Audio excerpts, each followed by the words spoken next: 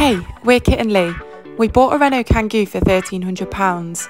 We built a base to sleep on, covered some offcuts of memory foam, made some window covers, and got her ready to be our full time home. We moved out of our flat, sold all our stuff, and drove all the way to Norway. We've travelled to some incredible European destinations in the last few months, and we'll keep doing this for as long as possible. You can follow our full journey on YouTube.